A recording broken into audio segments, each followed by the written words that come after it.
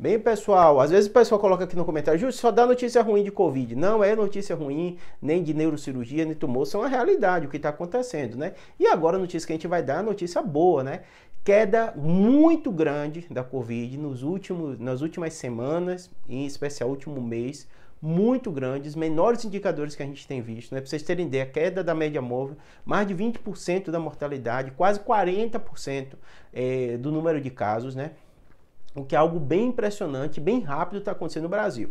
Ou seja, se confirmando que a gente já falava do fim é, da quarta onda, né? Lembrando, vários fatores foram importantes quanto a isso. Número um, a gente sabe que a quarta onda foi muito relacionada com as pessoas não tomarem dose de vacina e, além disso, perdeu um pouquinho a proteção para a variante Ômicron. BA4 e BA5 dominaram nessa quarta onda aqui no Brasil.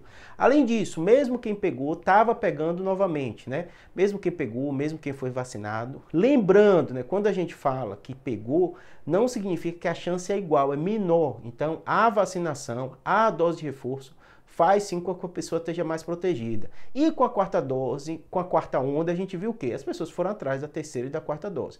O Brasil teve uma excelente aceitação da primeira e segunda dose, a terceira e quarta, acho que o pessoal esperou a quarta onda e correu todo mundo para se vacinar. Então aumentou sim a número de pessoas tomando a terceira e quarta dose depois que veio a quarta onda. Não vamos deixar isso repetir, né? Há uma tendência, o OMS falou, dessa pandemia virar até 2024, então a gente vai ter ainda uns dois anos convivendo ainda com isso, né?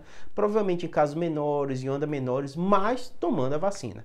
A Pfizer já anunciou que deu entrada aqui no Brasil para a nova vacina já contra a variante Ômicron. O Reino Unido já autorizou. Então você percebe que além dessa notícia boa de queda de mortes, né, significativa em média móvel, de casos, a gente está vendo também a ciência correndo pelo lado de cá, atualizando a vacina. E além disso, que é uma coisa talvez a mais importante de todas, é a conscientização das pessoas.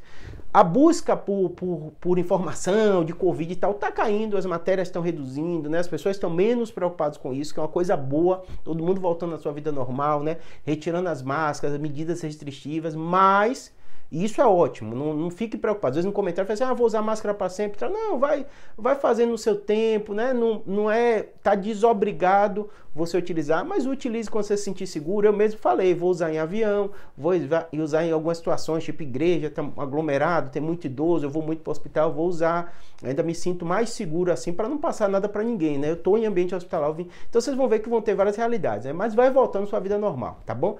Os indicadores e as informações são muito boas, deixa a gente seguro de estar perto do fim da pandemia, tá bom? Saiu alguma notícia, né, atualizar, caiu o número de casos, a gente informa aqui. Lembrando, a OMS falou que está preocupada com o verão europeu, ou desculpa, com o inverno europeu, no final do ano, de possível nova onda. Mas a gente vai informar, vamos acompanhar e o principal, vá se vacinar, tá bom? E tomar a dose de reforço. Um abraço.